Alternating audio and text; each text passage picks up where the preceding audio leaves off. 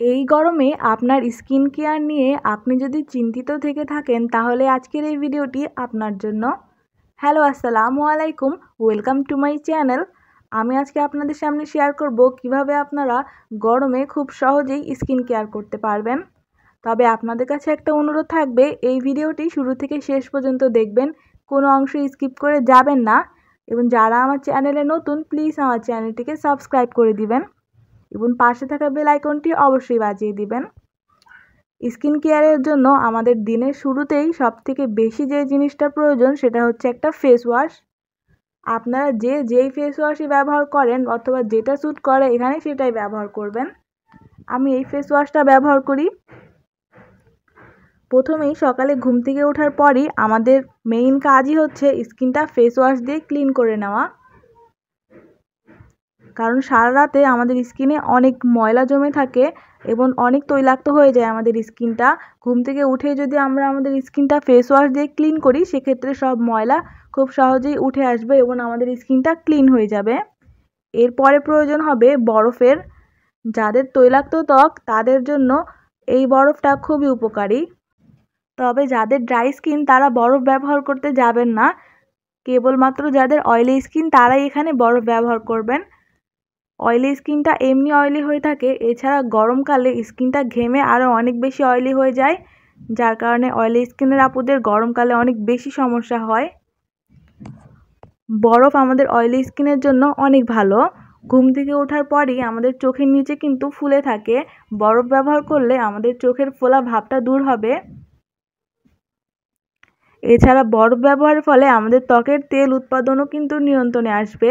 ঘামাচি অথবা চুলকানি থাকলে সেটা কমে যাবে, ত্বকের লালচে ভাবও কমে যাবে। এছাড়া বরফ আমাদের স্কিন এক্সফোলিউশনের জন্য অনেক উপকারী।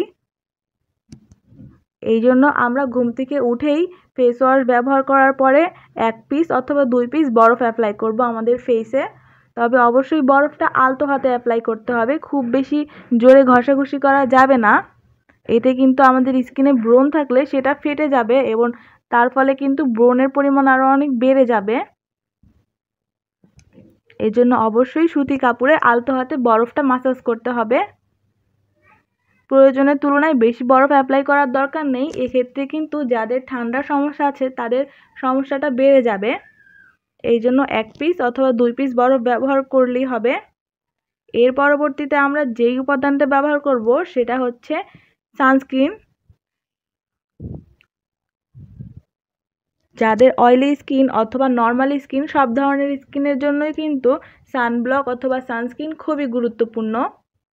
সানস্ক্রিন আমাদের ত্বককে সূর্যের ক্ষতিকর রশ্মি থেকে রক্ষা করে।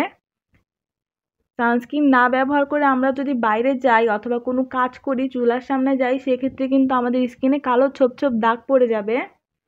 আর এই দাগগুলো কিন্তু একবার পড়ে গেলে উঠানো খুবই কষ্টকর। এই জন্য বরফ ব্যবহারের পরেই আমরা সানস্ক্রিন ব্যবহার করব। বিশেষ করে স্কুল, কলেজে যেই সকল আপুরা যায় বা বাইরে যায় কোনো কাজে, তারা এই কাজটা অবশ্যই করবেন। সানস্ক্রিন ব্যবহারের পর স্কিনটা অনেকের তৈলাক্ত হয়ে যায়। এই জন্য আমরা একটা পাউডার ব্যবহার করব।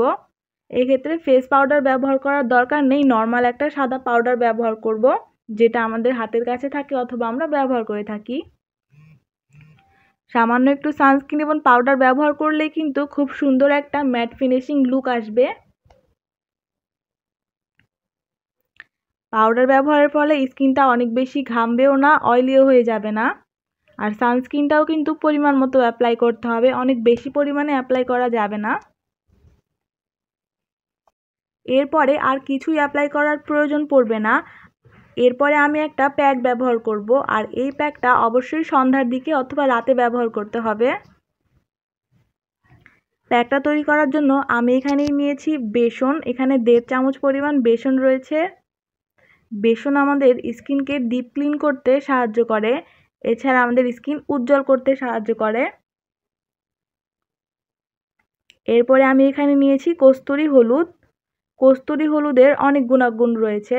নর্মাল হলুদের তুলনায় কস্তুরি হলুদের গুণ দশ গুণ বেশি। এটা আমাদের ত্বকের কালো দাগ দূর করতে সাহায্য করে, ত্বককে উজ্জ্বল করে। অ্যালার্জির প্রবলেম থাকলে সেটা দূর করে। আমি এখানে সামান্য পরিমাণ কস্তুরি হলুদ নিব। আমার এই ভিডিওটি ফলো করে আপনারা স্কিন কেয়ার করবেন। অবশ্যই আপনারা খুব তাড়াতাড়ি ভালো একটা ফলাফল পাবেন। গরমে খুব বেশি পরিমাণে স্কিন কেয়ারের কোনো দরকার নেই, তবে অবশ্যই পারফেক্ট স্কিন কেয়ার করতে হবে। আমি এখন এখানে পরিমাণ মতো পানি নিয়ে নিচ্ছি। পানি দিয়ে পাতলা একটা প্যাক তৈরি করে নেব। খুব বেশি ঘন করা যাবে না, তাহলে কিন্তু দেওয়ার সাথে সাথেই শুকিয়ে যাবে। এই প্যাকটা ব্যবহার করলে আমাদের স্কিনটা অনেক ব্রাইট হবে। আর আমি এখানে যেহেতু হলুদের গুঁড়া ব্যবহার করেছি। এই প্যাকটা কিন্তু সন্ধ্যা অথবা রাতেই ব্যবহার করতে হবে। দিনের বেলা ব্যবহার করা যাবে না। এই প্যাকটা ব্যবহার করার পর বিশ মিনিট স্কিনে রেখে স্কিনটা নর্মাল পানি দিয়ে ধুয়ে ফেলব। ব্যাস, এইটুকুই কিন্তু স্কিন কেয়ার আর এই প্যাকটা সপ্তাহে দুই থেকে তিন দিন ব্যবহার করবেন, প্রতিদিন ব্যবহার করবেন না। এইভাবে ব্যবহার করে দেখুন ইনশাল্লাহ আপনাদের স্কিন অনেক ভালো থাকবে। আজকের এই ভিডিওটি ভালো লাগলে অবশ্যই আমার এই ভিডিওতে একটা লাইক দিবেন এবং সাবস্ক্রাইব করবেন। আজকের মতো বিদায় নিচ্ছি। আল্লাহ হাফেজ।